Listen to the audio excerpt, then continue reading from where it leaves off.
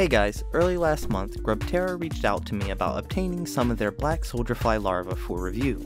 I have always wanted to get my hands on these guys to see how my geckos like them. I've heard a lot about these guys in the reptile and chicken raising communities. Just not many pet stores in my area have them, and they are normally quite expensive for how many you get, if they are in stock. Grubterra sells black soldier fly larvae for reptiles, dried black soldier fly for chicken, and they also have dog treats in various flavors. So, with a great thank you to Grubterra for sending me a code for some black soldier fly larvae. If you are interested in picking up some yourself, Grubterra has offered my viewers a discount. Grub10 will get you 10% off your order. And with that out of the way, let's start the video.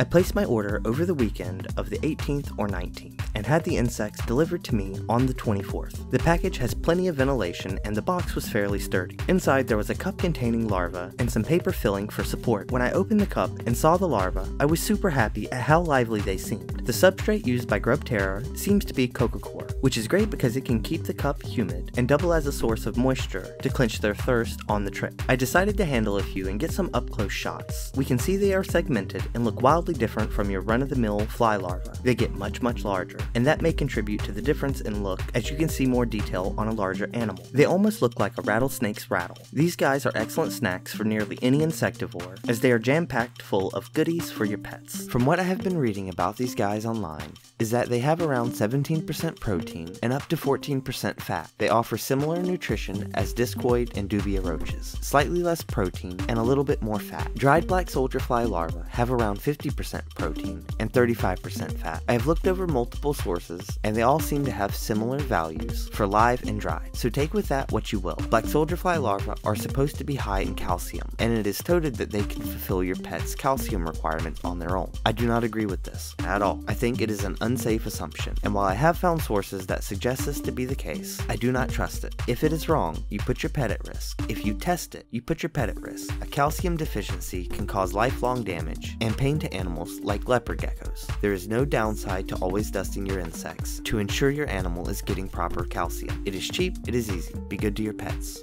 So let's talk about the life cycle of these critters. It seems to be about 33 to 44 days, according to sources in the description, going by top end and low end estimates from birth until death. The larvae spend nearly a month before pupating into a black soldier fly, where it will spend the next 5 to 8 days reproducing before dying. The larvae can be placed into a stasis like state by lowering the temperature, much like mealworms. They can survive near freezing temperatures, and once warmed up, they reanimate and go right back to eating. They can be stored safely in your fridge between feedings to ensure that you get the most out of your larvae before they transform into adults. Right before the larva becomes an adult, they turn a very dark color, almost black, and move a lot less, and will eventually go into a pupa state, much like many other insects, and they don't move. Something interesting to know, adults apparently do not have mouths, which is really strange because when I think of a fly, I think of a mouth. I get mental images of one from Ren and Stimpy, like this. Completely crazy for them to not have a mouth, but that is nature at its finest. Anyhow, the females can lay an absolute ton of eggs before death. Multiple sources claim between 500 and 900 eggs.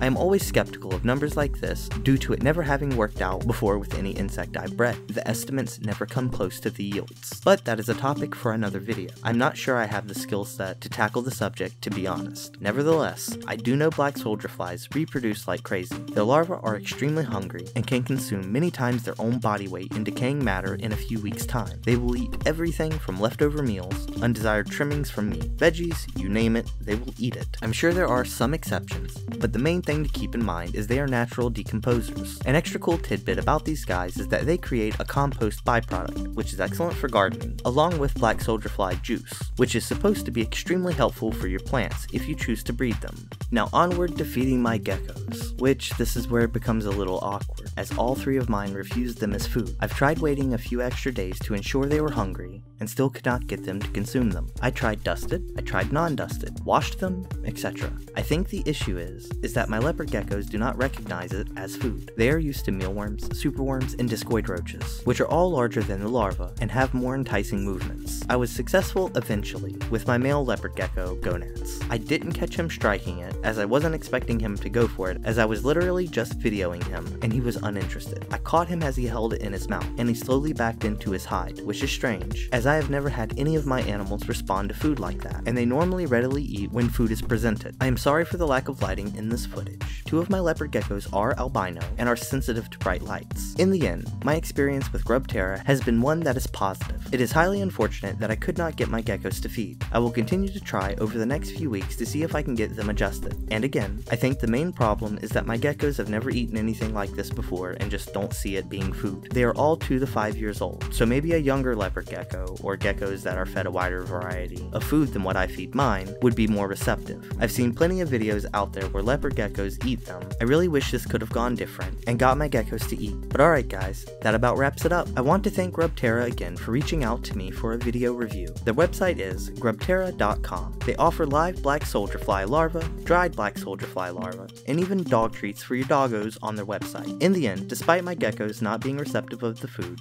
I still recommend Grubterra. Their customer service and public relation reps are very professional. The shipping time was quick and everything arrived alive and well. To all of you at home, if you have ever been interested in trying black soldier flies for your pets, I suggest giving it a go. My pets are just picky eaters and it was just bad luck of the draw. And remember, you can get 10% off using the code GRUB10 at checkout. If you like this video and you have it in your critter loving heart, give me a like, a subscribe, and hit the bell icon for more videos in the future like this. And as always, from the Gizards, Grubterra, and I, have a wonderful day.